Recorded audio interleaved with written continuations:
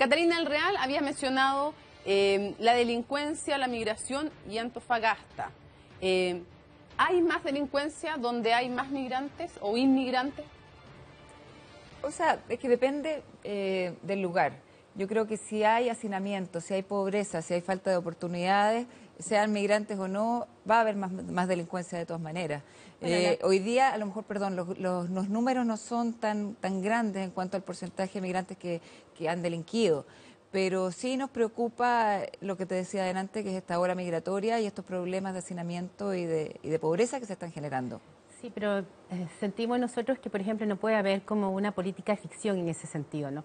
Acá lo que tenemos las cifras reales que los da la, el mismo, eh, la misma mesa interinstitucional donde está la PDI, Ministerio de Justicia, Carabineros, es que solamente corresponde a un 0,36%. Entonces, ligar la delincuencia con la inmigración es algo que es absolutamente un mito y que sobre todo a la gente que es líder de opinión eh, tiene como la obligación de hacer como esta deconstrucción de esta, de esta mitología, ¿no?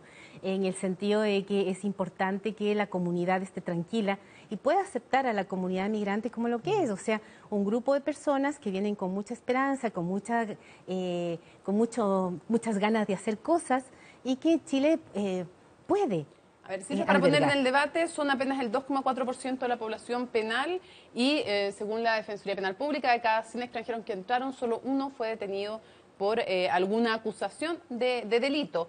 Pero antes de ir a los que cometen efectivamente delitos, pregunta previa para ambas, para que debatan.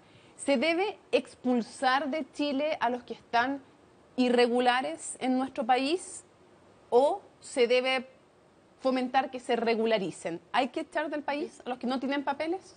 Hoy eh, las condiciones no están dadas para expulsarlo y tampoco el país quiere expulsarlo. Yo creo que lo que hay que hacer hoy día es integrarlo, eh, generar las políticas públicas que, realmente los acojan y los, los hagan vivir dignamente. ¿Eso no está de acuerdo con lo que decían parte de personeros de su coalición?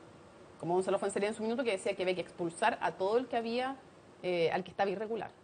O sea, hay que expulsar a los que delinquen, por supuesto. Yo creo que el país no se puede hacer cargo de tener en la cárcel a una persona que le cuesta 500 mil pesos eh, mensuales eh, y que además es extranjero. Yo creo que un, delincuente que ya está condenado sí debe ser expulsado, pero el resto de los inmigrantes que están acá, que están ilegales, tienen que regularizar su, su situación. Tenemos que generar leyes al respecto. Bueno, ahí yo quisiera hacer una precisión.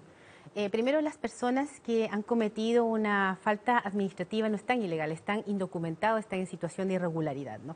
Y en segundo lugar, el tema, eh, por ejemplo, que proponía la coalición del Chile Vamos, en este sentido, decía que querían expulsar a la gente que también cometía delitos simples.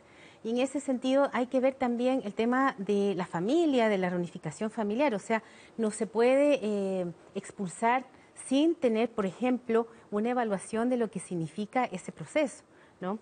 Eh, había también otra propuesta de la misma coalición que hablaba de que, por ejemplo, eh, una persona que cometía una falta simple no podía ingresar al país. Y una falta simple me refiero a un parte de tránsito que podía estar ahí. Entonces son temas que eh, hay que tener, hay que debatirlos y hay que verlos con mesura y con cuidado para no generar esta alarma en la ciudadanía tampoco. Bueno, desde la Fundación, más que del Chile Vamos, en este momento vengo como vocera de la Fundación, sentimos que lo que hay que lo que debemos tener hoy urgente es una ley en el Congreso. Y una ley que permita políticas públicas, que permita regularizar esto, que se debata.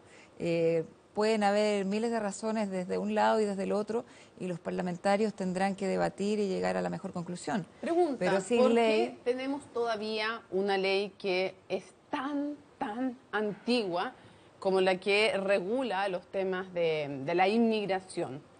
El, expresidente Piñera, hace ya cuatro o cinco años atrás, eh, mandó al Congreso una ley migratoria eh, y está durmiendo en los laureles. Al parecer, bueno, la política de la retroexcavadora no permitió que esta continuara y luego el gobierno actual dijo que iba a entrar otra ley, creo que lo anunció unas cinco veces, según te he escuchado en, en algún comentario por ahí. Y bueno, y todavía el tema no, no entra. Entonces no es prioridad, yo creo que no hay voluntad política para hacerlo. Bueno, yo concuerdo con Catalina en que realmente no hay una voluntad política de ingresar el proyecto. Es la octava vez que nos han dado la fecha. Se supone que ahora en abril tenía que haber ingresado el proyecto de ley. Hubo unas consultas previas a la sociedad civil. Estábamos nosotros... Eh, eh, interesados en que esto salga, porque no es un capricho de la comunidad migrante que hay una nueva ley migratoria. Cada día que pasa hay una persona que está siendo vulnerada, hay alguien que está muriendo en la frontera, hay alguien eh, que está viviendo en una situación de pobreza o de eh, una situación precaria, que es importante que Chile ya le dé una